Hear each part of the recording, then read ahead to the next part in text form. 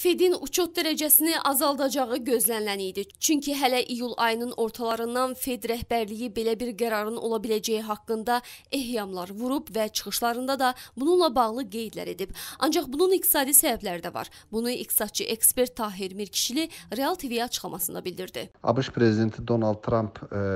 Fed rəhbərliyindən faiz dərəcələrinin aşağı salınmasından bağlı ardıcıl tələblər ilə sürürdü.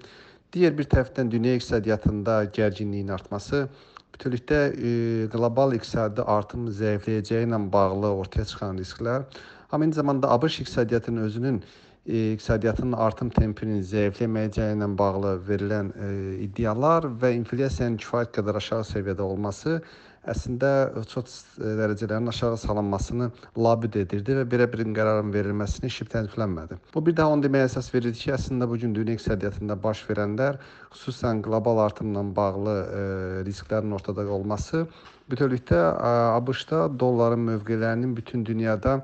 dəyişməsi ilə bağlı yumşaq pul krediti siyasəti yürütməsini labüd edirdi və bu verilən qərar əslində ABŞ iqtisadiyyatının güclənməsi üçün gücləndirəcək mühüm bir siqnal olduğundan düşünürük ki, belə bir qərarın verilməsi ABŞ dollarının dünyada mövqelərinin daha da güclənməsinə səbəb ola biləcəkdir ki, biz bunun əslində ilkin əlamətlərini gördük. Azərbaycanla müqayisədə qeyd etmək istərdim ki, Azərbaycan institutu keçən 6 ay ərzində cənab prezidentin dünən keçirdiyi müşavirədə də qeyd edildi ki, kifayət qədər müsbət iqtisadi dinamika e, müşahidə olunur. Həm ölkədə ticarət dövrəsinin artması, həm ixracın artması, həm ölkənin valyuta ehtiyatlarının artıq 4 milyarddan çox artması əslində Azərbaycan iqtisadiyyatının daha sabit, daha dayanıqlı olmasını deməyə əsas verir ki, ona görə düşünürük ki, çox dərəcələrin aşağı salınmasına bağlı verdiyi qərarlar bütövlükdə qlobal olaraq iqtisadiyyatlara təsir etsə də, amma Azərbaycan iqtisadiyyatı düşünürəm ki, keçən dövr ərzində aparılan iqtisadi islahatlar nəticəsində xarici amillərin ölkə iqtisadiyyatına təsirini minimallaşdırmaq və da ki, bu təsirini aradan qaldırmaq